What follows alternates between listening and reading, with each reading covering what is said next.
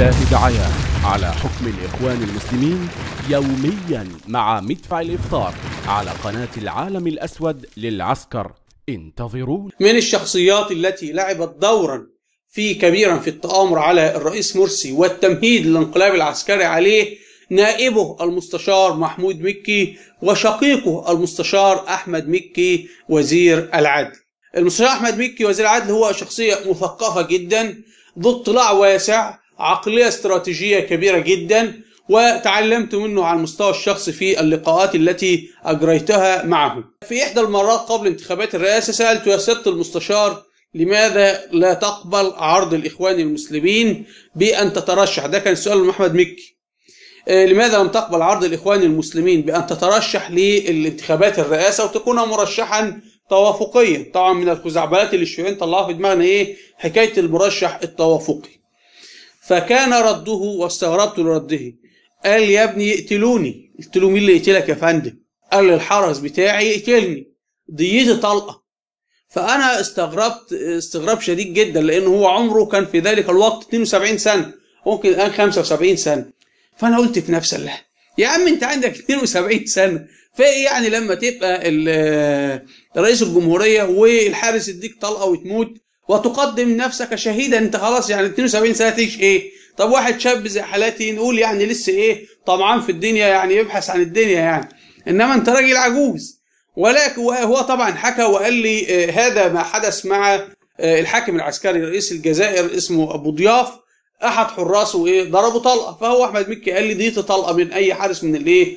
من الحراس. لذلك لما الرئيس مرسي ترشح وكان اعلام المخابرات الحربية الاعلام الشيوعي بتوع وائل ولميس العيال الشيوعيين دول يقولون إن مرسي طبعا في الحكم وما إلى ذلك أنا كنت أعرف أن مرسي إنما يغامر بحياته ويكون بين عصابة مسلحة يمكن واحد فقط منها نضرب عليه طلقة والأمور إيه؟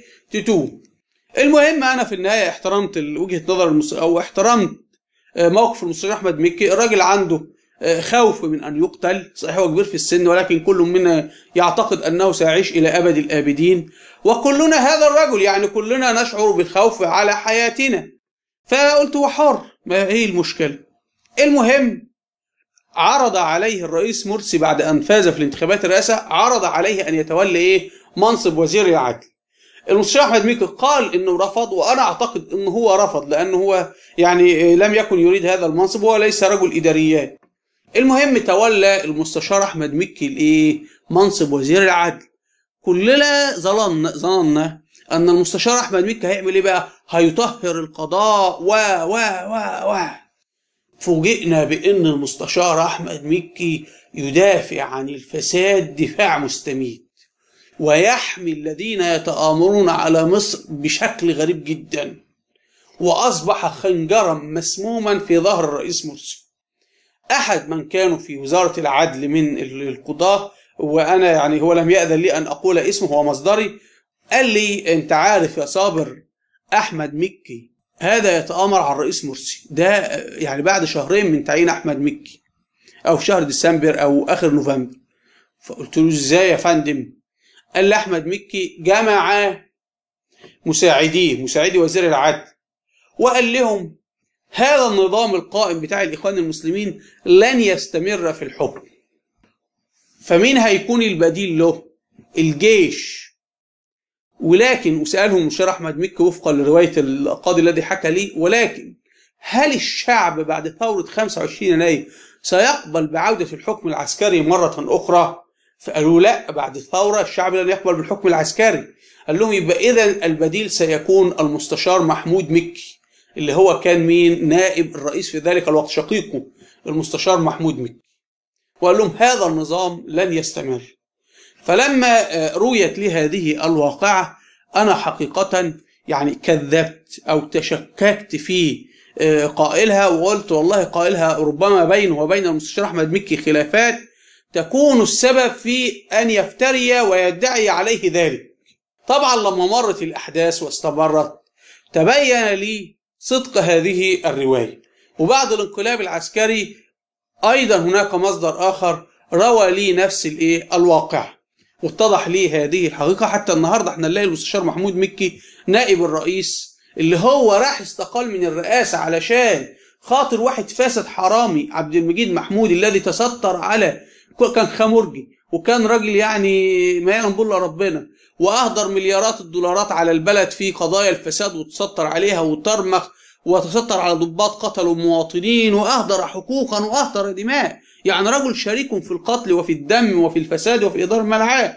محمود مكي لما كان نائب رئيس انفعل وقال لك لا أنا مستقيل لا أقبل إقالة هذا الفاسد. ومحمود مكي أخذته الغيرة والحمية من أجل واحد فاسد اللي هو عبد المجيد محمود.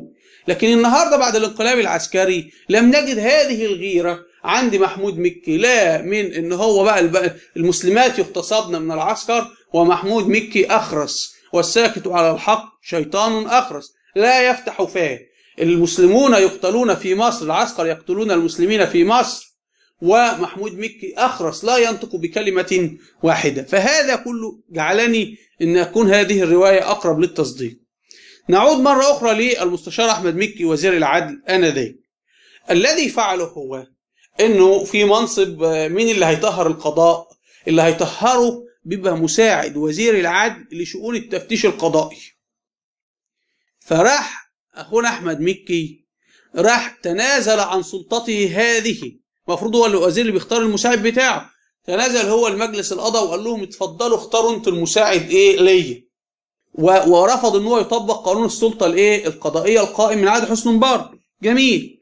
راح مجلس القضاء الأعلى اختار له واحد شيوعي اللي هو المستشار زغلول البلشي.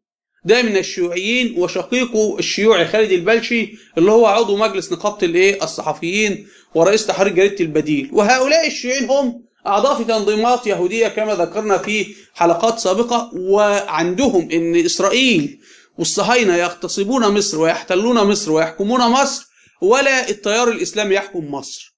تمام؟ فراح هو بقى إيه؟ قابل أن مجلس القضاء الأعلى يفرض عليه أو يعين له شخصية شيوعية اللي هو زغلول البلشي مساعدا لوزير العدل لشؤون الإيه؟ التفتيش القضائي. هنا بقى زغلول البلشي المساعد بتاع أحمد مكي عمل إيه؟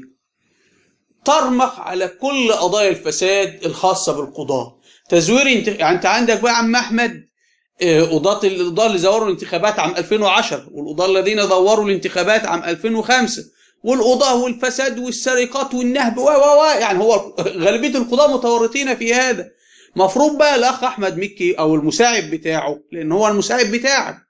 مفروض بقى إنه يطهر إيه الفساد هؤلاء ويحيلهم للتحكي للإيه للمحاكمات. إلا إن مساعد أحمد مكي إيه طرمخ على كل هذا الفساد ولم يفعل أي شيء. مفروض أحمد مكي هنا يعمل إيه؟ مفروض إنه هو ينهي انتداب المساعد بتاعه زغلول البلش إنه متستر على فساد. ويطلب من مجلس القضاء إنه هو يأتي له بمساعد جديد أو يعين هو مساعد جديد لكنه رفض. طيب مفروض بقى أنت يا عم أحمد مكي تعمل إيه؟ مفروض إن أنت تطلع قانون السلطة القضائية. أحمد مكي رفض. يعني أنت مش عاجبك القانون القديم. طب اتفضل اطلع قانون السلطة القضائية لأنه من شأنه برضه ان هو يطهر الإيه؟ القضاء. أحمد مكي رفض وقال لك لا القضاء يطهر نفسه بنفسه. والله العظيم حاجة في منتهى الغرابة. كأنك بتقول للحرامية طهروا نفسكم بنفسكم. وفي حرامية بيطهروا نفسهم بنفسهم يا أحمد مكي. حاجة يعني جنان. وفوجئنا طبعا إحنا قعدنا بقى حاطين على خدنا عشان إيه؟ القضاة الفاسدين الحرامية. الحرامية يطهروا نفسهم. تنينا بقى طوال السنة في هذا الإيه؟ المستنقع بسبب أحمد مكي. طبعا القضاة ووكلاء النيابة كانوا يخلون سبيل البلطجية اللي بيعملوا مولوتوف وقلق و Black Bloc والكلام ده كله. يتم القبض عليهم والقضاة الفاسدين يطلقون سراحهم يتم القبض عليهم القضاة الفاسدين إيه؟ يطلقون سراحهم وأخوك أحمد مكي قاعد إيه؟ يحميهم.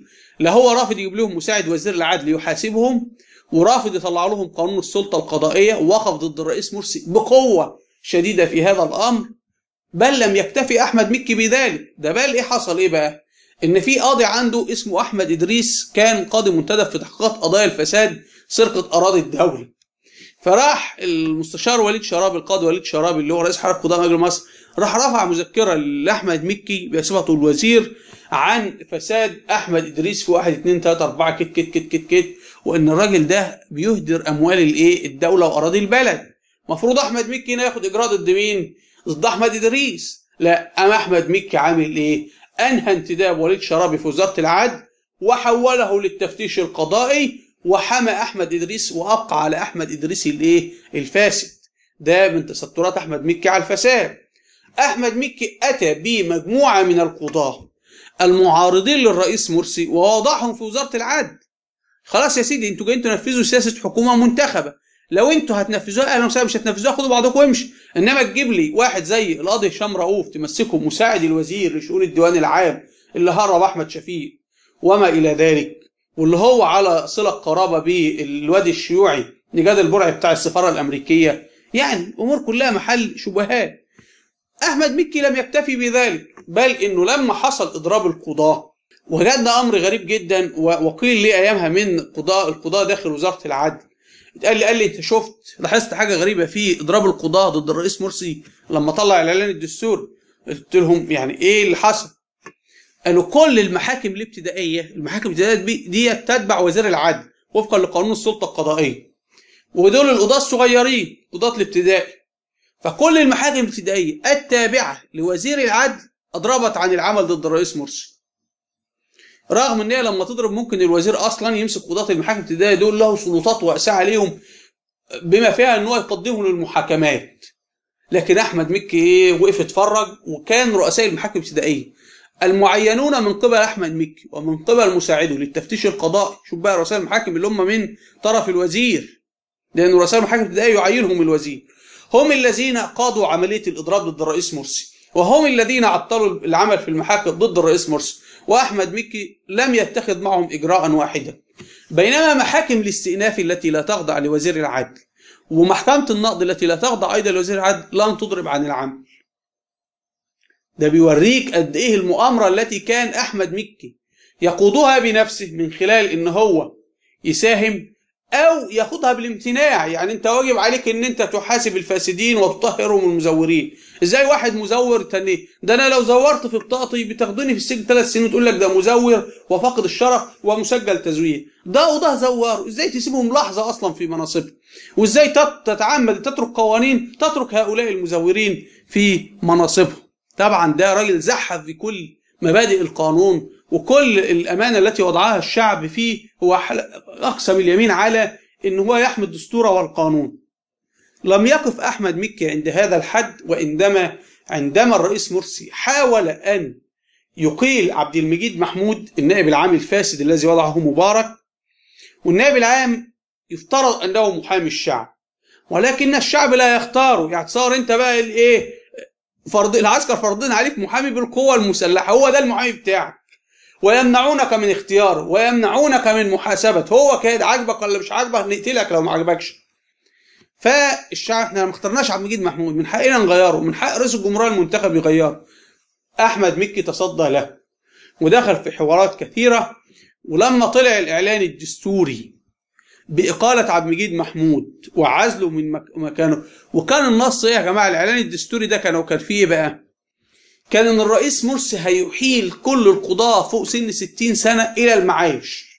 يعني كان هيطهر جزء كبير جدا من الفساد. إحنا مطلب زمان قوي إن سن التقاعد للقضاة يرجع ل 60 أحمد مكي وقف وعارض وراجع الرئيس وقال له لأ وهتعمل أزمة وهتعمل. وحذف هذا البند. ووقي هؤلاء القضاة الفاسدون باسم من أحمد مكي.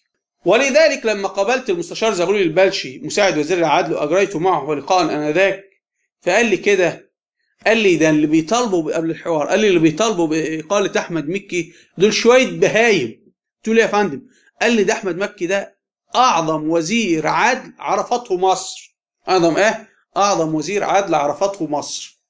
لأنه طبعا أحمد مكي لعب دور كبير جدا هو يبدو أنه معك ومع فريق الثورة ومع فريق الرئيس مرسي والانتخابات وفي حقيقة الأمر هو شغال في مع مين؟ شغال مع فريق أحمد الزند في حماية الفساد والتزوير و و وما إلى ذلك. لما تم تعيين النائب العام طلعت عبد الله أحمد مكي عمل إيه بقى؟ أحمد مكي كان على اتصال دائم به وكان يلتقيه دائما وكان يطالبه بألا يحيل القضايا الخاصة بالبلاك بلوك والحرامية والمفرقعات للمحاكم جعل كان يعني هو طلعت عبد الله كان شخصية ضعيفة. وأحمد مكي حطه في جيبه وسيطر عليه.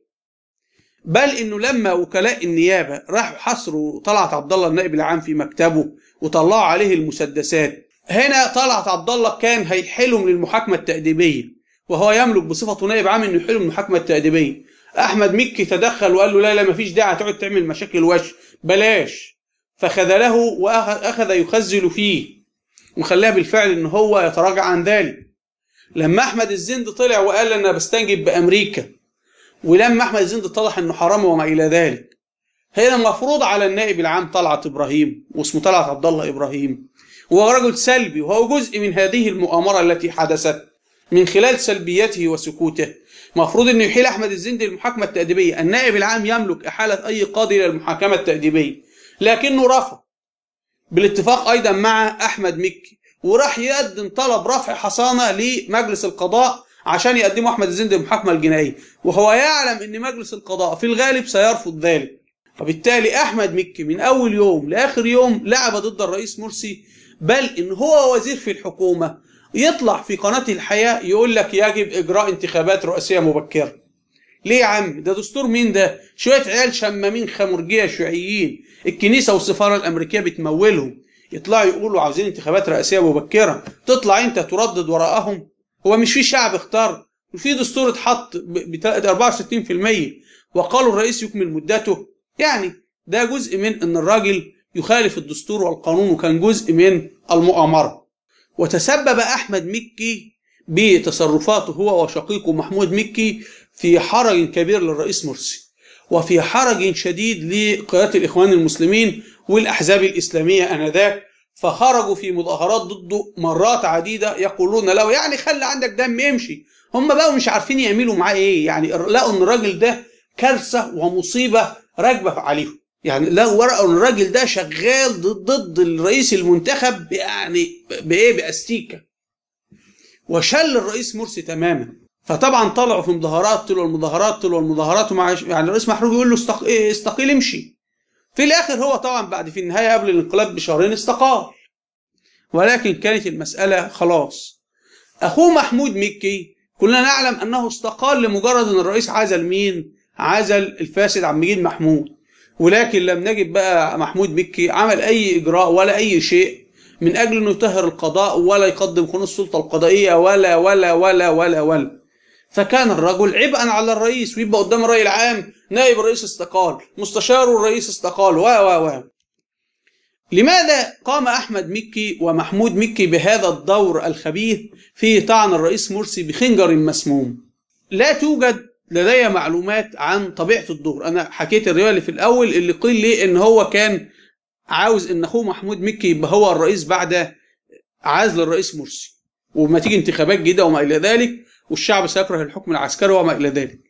ويعزز هذه الرواية التي قيلت لي إن هو محمود مكي إحنا مش شايفينه خالص. يعني هشام قنديل اللي هو راجل كان راجل موظف يعني مش متدرج كموظف في سلك الحكومة طلع وقال لا للانقلاب العسكري وطلع قال هذه مؤامرة على الرئيس. لكن محمود مكي نائب الرئيس اللي انت واكل معاه. يعني انت اكلت مع الرئيس عيش وملح يا محمود يا مكي. المفروض تطلع تقول كلمتين لوجه الله. تشهد شهادة حق في حق هذا الرجل. لا. يعني كتم كتم الشهادة نهائيا وائل انديل كتب إنه كان في اتصالات بين هيكل وبين محمود مكي من خلال قضاة طيار الاستقلال. غالبية قضاة طيار الاستقلال على علاقات بهيكل. هناك يعني قاضي آخر يعني هو قال لي ان هو بيخمن أو يرجح أو إن هناك شواهد ولكنها ليست قاطعة. إن هيكل كان مسيطر على أحمد مكي ومحمود مكي. وهو الذي كان يحركهما. وهو الذي يحميهما حتى الآن من الحبس. يعني المستشار محمود الخضيري اترمى في السجن وغيره وغيره اترموا في السجن وهشام أنديل اترمى في السجن رئيس الحكومة. لكن أحمد مكي رغم إنه بيطلع ينتقد في الحكم العسكري حتى الآن إلا إنه ما حدش قرب منه. فهو ال ال هذا القاضي بيرجح إنه يكون هيكل هو الذي يحمي أحمد مكي ومحمود مكي وهو الذي كان يحركهما ضد الرئيس مرسي. أيضا المستشار أحمد مكي أساء للرئيس مرسي عندما قال إنه آه ان هو ما حكمش وإن اللي كان بيحكم العسكر وإن المجلس العسكري هو الذي اختار طنطا وما إلى ذلك. وهذه أكذوبة كلها هدفها الحط من شأن الرئيس مرسي. ويعلم أحمد مكي بكاذبها وتناولنا ذلك في حلقة أسرار تعيين الرئيس مرسي للسيسي وزيرا للدفاع. يمكن أن تبحثوا عنها وستجدونها على قناة العالم الأسود للعسكر. لكن استغربت جدا لما لقيت في تصريح للمستشار أحمد مكي وزير الاعاده رجل الدستور والقانون بيقول يعني برومو كده بتعيدوا قناة الجزيرة مباشر مصر قبل أن يغلقها أن يغلقونها بيقول إيه بقى؟ حذاري من أن يحكم الجيش حكما مباشرا. يعني إيه؟ يعني هو عادي إن الجيش يحكم حكم غير مباشر؟ يعني ما فيش مشكلة إن إحنا نرجع لتجربة تركيا العسكر يحكمون من الخلف وحكومات من المنظر من الأمام وكما حدث في باكستان وكما يحدث في بنجلاديش انت وكما كان يحدث في الفترة أيام الملك فاروق العسكر يحكمون من الخلف وفي حكومات طراطير كده في الواجهة. ده ده المشير أحمد مكي بيقوله. فللأسف الشديد المحن هي التي تظهر معادن الرجال. اشترك في قناتنا العالم الأسود للعسكر لتتابع الحلقات الجديدة.